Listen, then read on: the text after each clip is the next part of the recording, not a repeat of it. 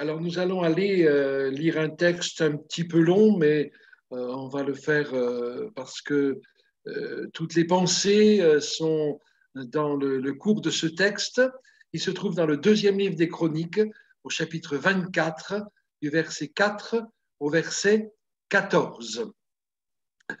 Après cela, Joas eut la pensée de restaurer la maison de l'Éternel. Il rassembla les prêtres et les lévites et leur dit Parcourez les villes de Juda et récoltez dans tout Israël chaque année de l'argent pour réparer la maison de votre Dieu. Menez cette affaire avec empressement. Mais les Lévites ne montrèrent aucun empressement. Le roi appela le grand prêtre Jéhojada et lui dit Pourquoi n'as-tu pas veillé à ce que les Lévites apportent de Juda et de Jérusalem la contribution prescrite par Moïse, serviteur de l'Éternel, à l'assemblée d'Israël pour la tente du témoignage. En effet, l'impie Athalie et ses fils ont dévasté la maison de Dieu. Ils ont même employé pour les Baals tous les objets consacrés de la maison de l'Éternel. Alors le roi ordonna qu'on fabrique un coffre et qu'on le place à la porte de la maison de l'Éternel à l'extérieur. C'était le premier tronc hein, qui nous est montré dans la parole de Dieu. On proclama encore, on proclama alors dans Juda et dans Jérusalem qu'il fallait apporter à l'Éternel la contribution prescrite par Moïse, serviteur de l'Éternel, à Israël dans le désert. Tous les chefs et tout le peuple s'en réjouirent, et ils apportèrent et jetèrent leur contribution dans le coffre jusqu'à ce qu'il soit plein. Voilà la suite, merci. Quand ce fut le moment pour les Lévites d'apporter le coffre aux inspecteurs royaux, quand ils virent qu'il contenait beaucoup d'argent, le secrétaire du roi et le commissaire du grand prêtre vinrent vider le coffre, ils le prirent, puis ils le remirent à sa place. Ils agissaient de cette manière chaque jour et ils récoltèrent beaucoup d'argent. Le roi Jéhojada et Jéhojada le donnaient à ceux qui étaient chargés des travaux dans la maison de l'Éternel. Ceux-ci engageaient des tailleurs de pierre et des charpentiers pour restaurer la maison de l'Éternel et même des ouvriers aptes à travailler le fer ou le bronze pour la réparer. Ceux qui étaient chargés des travaux se mirent à l'œuvre et la restauration progressa entre leurs mains. Ils remirent la maison de Dieu en état et la consolidèrent. Lorsqu'ils eurent terminé, ils rapportèrent le reste de l'argent au roi et à Jéhojada, et l'on en fit des ustensiles pour la maison de l'Éternel, des ustensiles pour le service et pour les holocaustes, des coupes et d'autres ustensiles en or et en argent. Pendant toute la vie de Jéhojada, on, on offrit constamment des holocaustes dans la maison de l'Éternel. Amen. Alors ici, il est question du temple, bien sûr, du temple d'Israël. J'ai trouvé euh, une, image du temple, euh, du temple du peuple hébreu. Et c'est vrai qu'il y avait des directives qui étaient données au, peuple pour euh, qu'il soit construit selon le modèle que le Seigneur lui-même avait montré à son serviteur. Et puis là, il est question donc de réparation. Alors, comme je vous le disais en introduction, c'est vrai que ce temple, c'est nous. La diapo suivante montre euh, un papy qui se. Voilà, je ne sais pas qui. Hein, je, je, vous ai déjà dit que dans ma tête et dans mon cœur, je me sens plus jeune que lorsque j'avais 20 ans, mais mon corps me rappelle quand même que j'en ai plus 20, que les, les 20 sont arrivés plusieurs fois. Et cette, cette pensée qui a été communiquée euh, pour euh, la réparation du temple, elle a été communiquée bien sûr par le Seigneur, communiquée par le Saint-Esprit. Et si le Saint-Esprit nous communique cette pensée que nous avons besoin de réparation dans notre vie, bien sûr dans notre corps, mais surtout dans notre âme, dans notre esprit, comme le Saint-Esprit en a parlé tout à l'heure aussi, eh bien acceptons que le Seigneur nous montre ce que nous, nous pouvons faire, nous allons en parler, et ce que nous ne pouvons pas faire, comme nous le disons souvent, et comme euh, euh, Didier aussi le dit, et puis euh, tous les prédicateurs, eh bien, laissons faire le Seigneur, croyons qu'il fait ce que nous ne pouvons pas faire. Alors, la question est, est-ce que j'ai besoin, est-ce que tu as besoin de réparation? La diapo suivante montre une maison qui en a vraiment besoin, n'est-ce pas? euh, Je ne pense pas et j'espère que aucun d'entre nous n'est dans cet état, mais nous avons besoin de veiller parce que si nous ne veillons pas et si nous ne faisons pas quelque chose, lorsque nous constatons des dégâts, lorsque nous constatons des dommages à notre vie, à notre relation avec le Seigneur, eh bien, euh, euh, plus ou moins rapidement, nous en arriverons à cet état. Qu'est-ce qui cause ces, dommages? Pourquoi est-ce qu'il y a des, des dégâts? Nous l'avons lu dans la parole de Dieu tout à l'heure. C'est vrai que ce qui est à l'éternel, malheureusement, sert pour les idoles. Ils ont livré au Baal les objets qui étaient faits pour le service de l'éternel dans le temple. Alors, Seigneur, je sais que nous n'avons pas personne dans nos maisons de statues devant lesquelles nous nous prosternons ou d'images pieuses euh, que nous euh, gardons et que nous regardons. Euh, enfin, j'espère que personne n'en a, mais nous savons bien que tout ce qui prend la place du Seigneur constitue une idole dans nos vies. Tout ce qui fait que Dieu n'est pas en premier, tout ce qui fait que Dieu peut-être n'a pas droit de regard sur certaines parties de nos vies, de nos journées, de nos pensées, de euh, nos, comment dire, de, nos affections, eh bien tout cela constitue des idoles. Et ce matin, nous voulons demander pardon au Seigneur si c'est le cas et lui dire Seigneur, prends comme tout à nouveau toute la place dans ma vie. Seigneur, pardonne-moi si j'ai laissé entrer de nouveau dans mon cœur, dans ma pensée, des choses qui te mettent de côté, des choses qui euh, sont préjudiciables à ma relation avec toi, des choses qui m'empêchent d'entendre ta voix, de, marcher dans tes voies et euh, de t'être agréable. Oui, Seigneur, je ne veux plus que ce qui te revient serve à autre chose. Et c'est vrai, comme je vous le disais, si on ne fait pas quelque chose, le temple va se dégrader encore plus. Alors voyons les matériaux que le Seigneur met à notre disposition et que nous trouvons dans ce texte. Il y a d'abord les pierres de taille. Alors elles étaient bien plus grandes que ce tas de, pierres déjà de, de, bonne taille que nous avons sur l'image. Et ces pierres de taille, elles me parlent de nos fondements spirituels, comme ça m'en parlait l'autre soir. Et nos fondements spirituels, c'est euh, bien sûr, dans la parole de Dieu que nous les trouvons. Nous sommes établis sur la parole de Dieu. Nous sommes fondés dans la parole de Dieu. Nous sommes enracinés dans la parole de Dieu. Et ces fondements, s'il y a quelques euh, tremblements de terre, quelques soucis qui ont ébranlé un peu les fondements, eh bien, nous voulons les placer tout à nouveau. Et ces fondements qui sont sur la parole de Dieu, il y a deux, comment dire, ils ont deux directions euh, euh, complémentaires. Dans la parole de Dieu, nous trouvons ce qui est important, d'abord la doctrine, ce que nous appelons la doctrine, ce qui est vrai, ce qui nous permet d'être libres, ce qui nous permet de savoir ce que Dieu veut pour nous, ce qui nous permet de savoir ce qui est bon pour nous, ce qui est le meilleur pour nous et ce que nous voulons mettre en pratique. C'est pour cela que c'est important de lire la parole de Dieu, de méditer la parole de Dieu, d'étudier la parole de Dieu, d'écouter la parole de Dieu et d'aller chercher tout ce qui contribue à ce que notre vie soit solide, solidement fondée sur le fondement solide.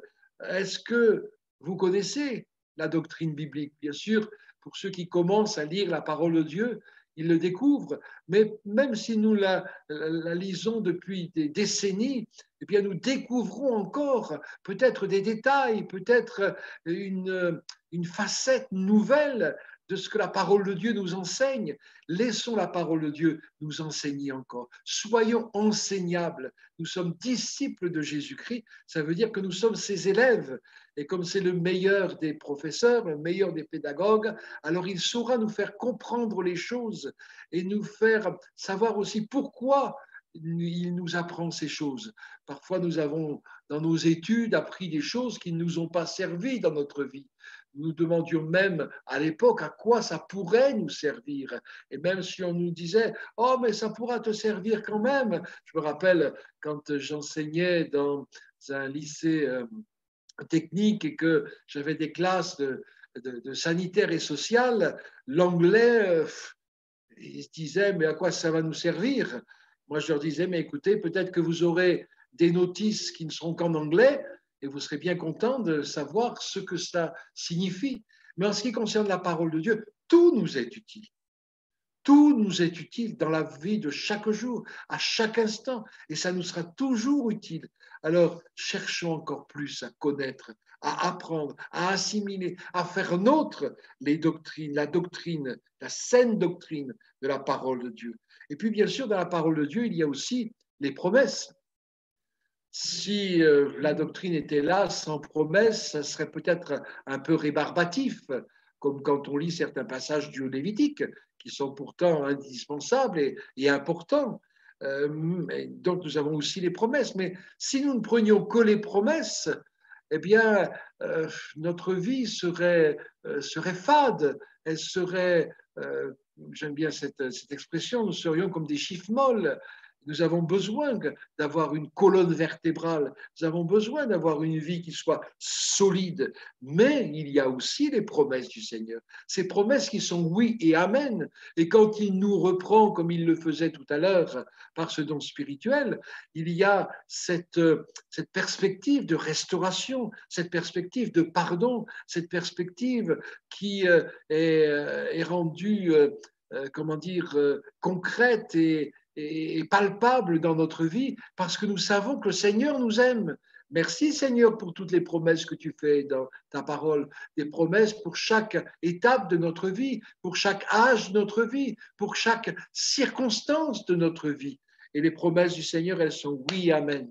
Les promesses du Seigneur, elles sont pour toi, mon frère, pour toi, ma soeur, pour toi, mon ami.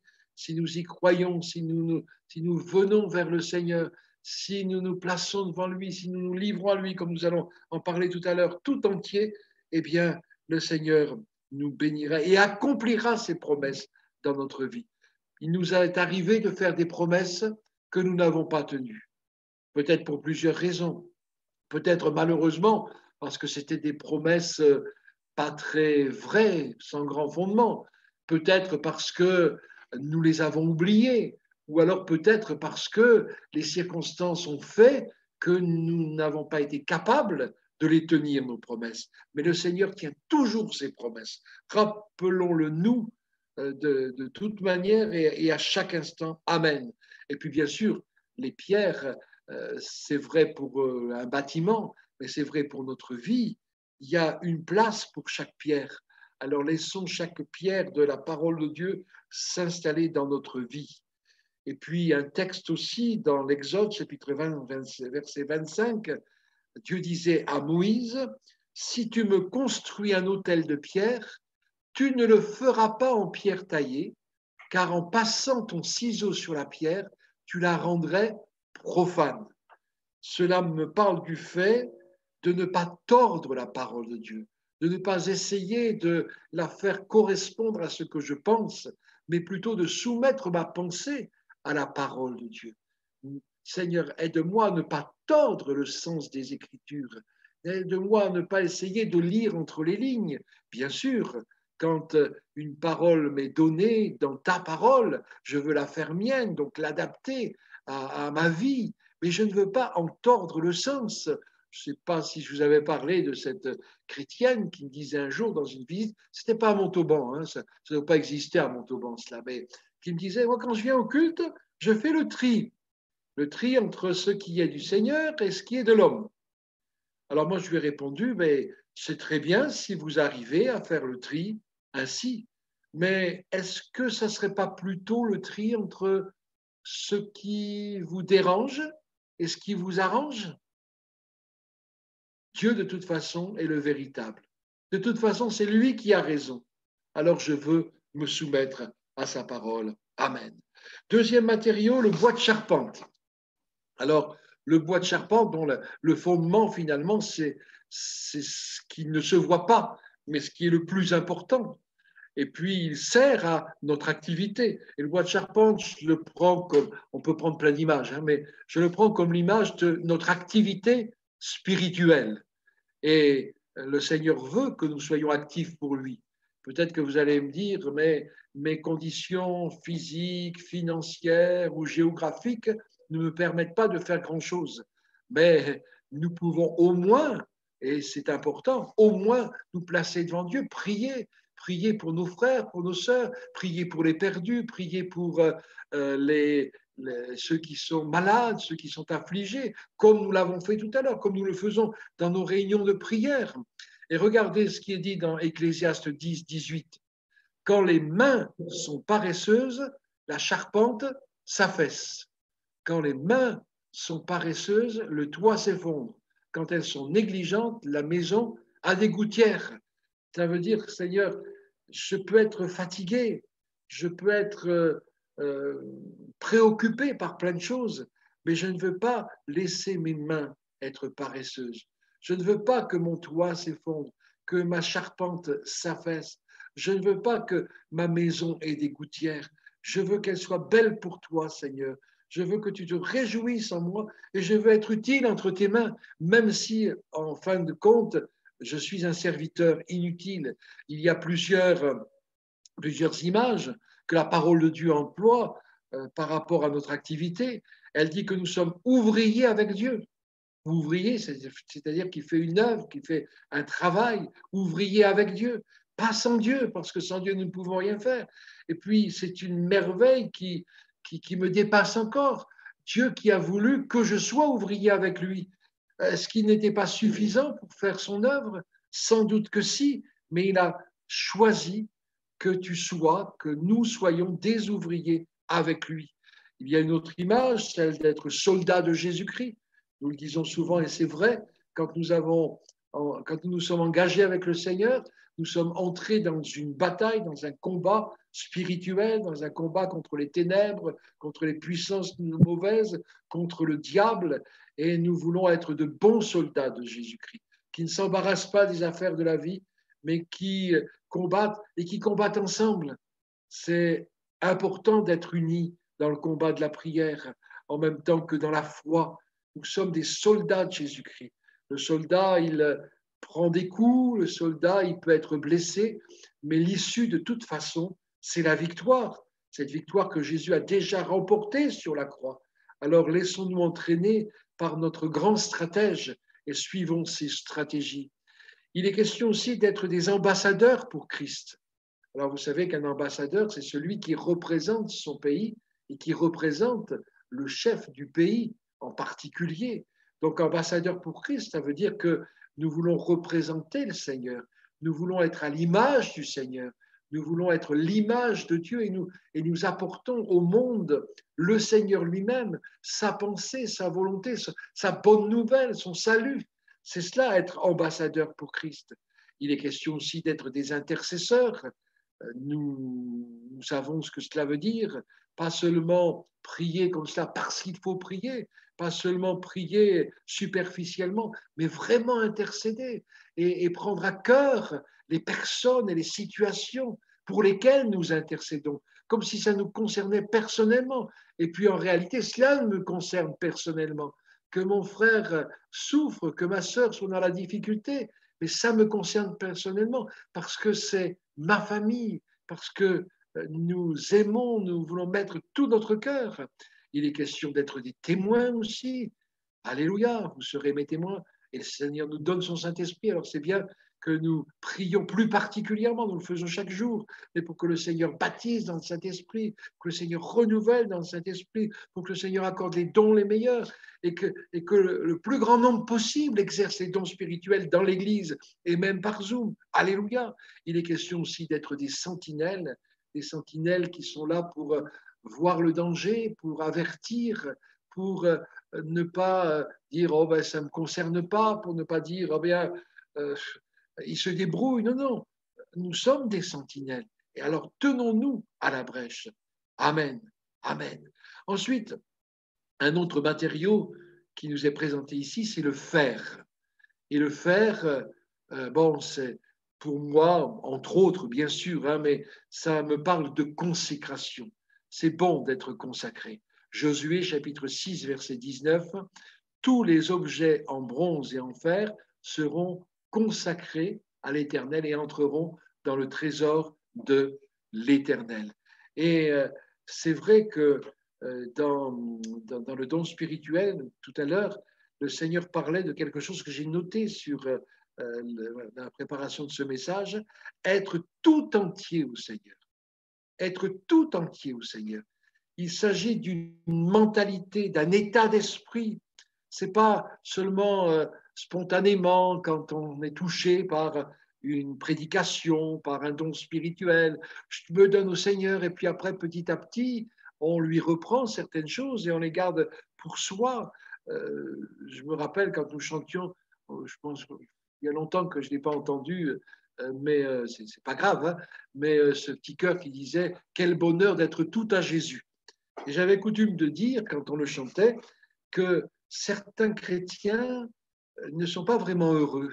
Certains chrétiens peut-être jalousent euh, des frères, des sœurs qui, eux, sont, sont vraiment libres et vraiment heureux, vraiment épanouis. Et souvent, on n'est pas vraiment heureux, vraiment épanoui et pleinement satisfait parce qu'on n'est pas tout entier à Jésus, parce qu'on a retenu quelque chose. Et comme disait, je vais citer aussi euh, Gilbert Riegelbach un jour dans sa prédication, quand on a tout donné, on n'a plus rien à perdre. Mais le Seigneur le dit lui aussi. Hein.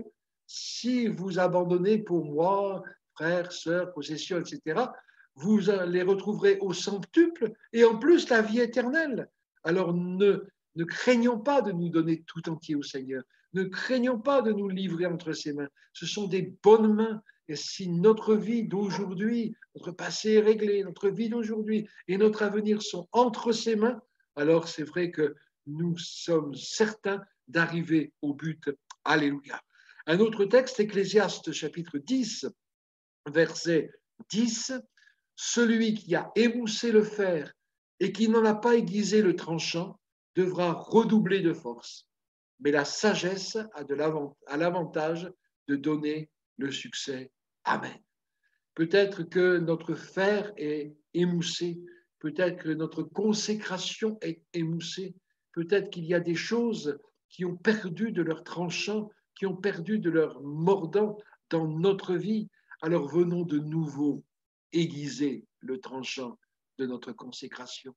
Venons de nouveau au pied du Seigneur, euh, recevant sa parole, avec amour parce que nous aimons celui qui nous a aimé le premier, avec le désir de lui être agréable, avec le désir de, de, le voir se réjouir en nous, eh bien, aiguisons de nouveau ce tranchant. Euh, parce que nous allons nous fatiguer si nous essayons par nos propres forces, par notre propre intelligence, par nos expériences même, si nous essayons de, de, couper, de tailler, si nous essayons de, oui, de, montrer un semblant de consécration, nous nous fatiguerons et il n'y aura pas de résultat probant. Mais si nous venons de nouveau dire, Seigneur, écoute, comme tout à nouveau, je me donne à toi. Pardonne-moi, Seigneur, toutes les choses qui, dans ma vie, ont servi de nouveau à ma propre satisfaction, à satisfaire ma chair.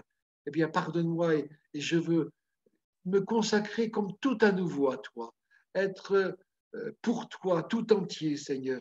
Et, je vous assure que ce tranchant qui sera de nouveau aiguisé fera que euh, mon cœur sera léger. Je serai pas toujours en train de me tracasser à, me dire mais euh, comment faire la volonté de Dieu, comment lui être agréable, comment être débarrassé de, de, ces fardeaux, de, de, ces incapacités, de ces, de ces limites qui sont en moi? Bien vite, le Seigneur va nous permettre, va te permettre, va vous permettre de, voir ce tranchant efficace.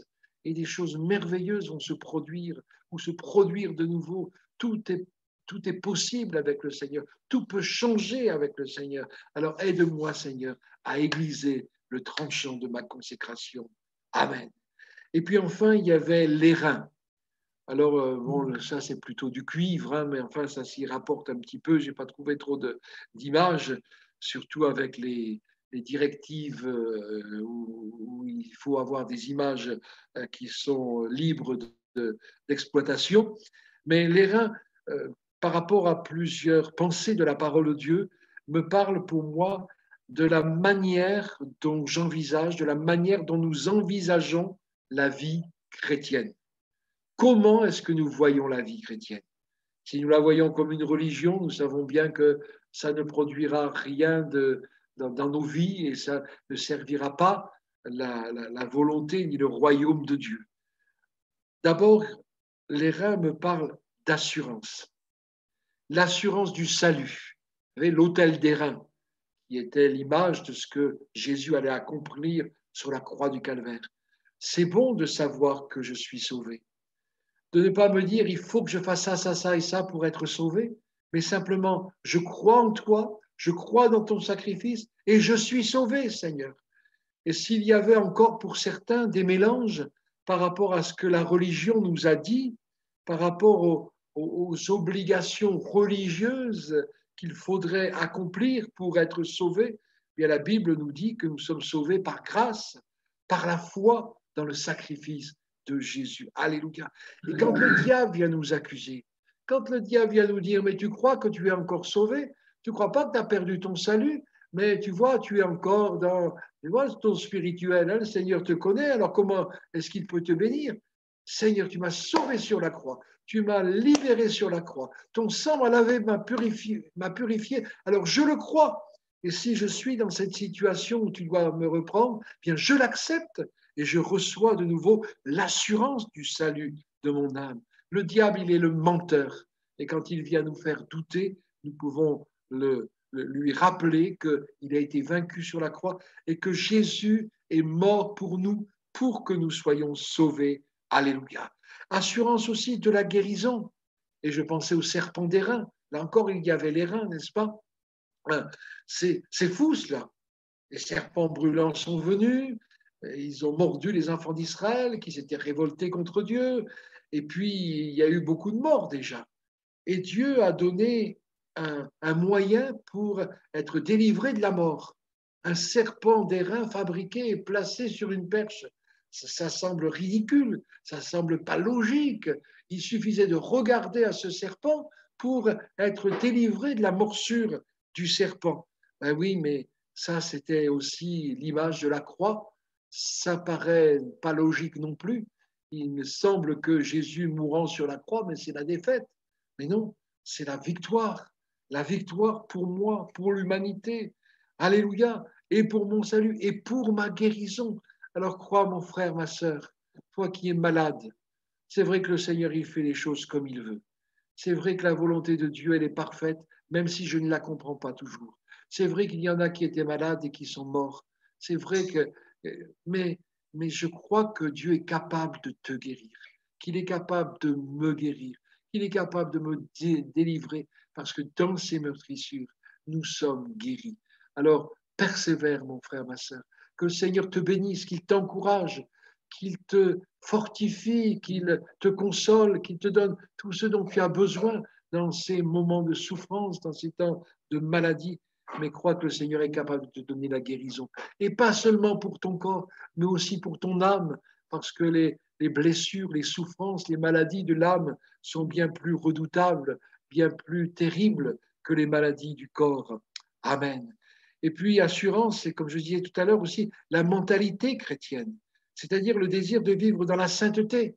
Je pense à cela par rapport à la cuve des reins, où les prêtres venaient faire leurs ablutions, se, purifier, la sainteté. Je veux vivre dans la sainteté, Seigneur. Sans, toi, c'est n'est pas possible. Sans, sans l'œuvre de ta, de ta grâce, de la croix, du Saint-Esprit, c'est pas possible. Mais, mais moi, je le désire, Seigneur. Alors aide-moi à ne pas euh, comment dire, à ne pas plonger dans des choses qui sont peut-être de mauvais penchants de mon cœur, mais qui euh, font que eh bien je ne suis pas à ta gloire. Et puis le sacrifice, encore l'autel d'airain. Donc euh, là, j'ai noté deux textes. Romains 12, verset 1. Je vous encourage donc, frères et sœurs, par les compassions de Dieu, à offrir votre corps comme un sacrifice vivant, saint, agréable à Dieu. Ce sera de votre part un culte raisonnable. Donc, je ne reviens pas dessus parce que j'en ai parlé déjà par rapport au fait d'être tout entier au Seigneur. Mais le deuxième texte, c'est dans 1 Pierre chapitre 4, verset 1. Ainsi donc, puisque Christ a souffert pour nous dans son corps, vous aussi armez-vous de la même pensée. Celui qui a souffert dans son corps en a fini avec le péché, ou dans sa chair, on a fini avec le péché. Alors, comme je vous l'ai déjà dit, il ne s'agit pas de rechercher la souffrance. Le Seigneur ne nous appelle pas à faire preuve de masochisme, mais il s'agit de nous armer de cette pensée et de penser que la souffrance, elle peut nous atteindre dans notre corps, dans notre âme. Et si nous sommes armés de cette pensée, eh bien quand la souffrance va venir nous rencontrer sur notre chemin, nous ne serons pas vaincus, mais au contraire, nous serons vainqueurs, même au milieu de la souffrance, ou vainqueurs sur la souffrance. Alléluia.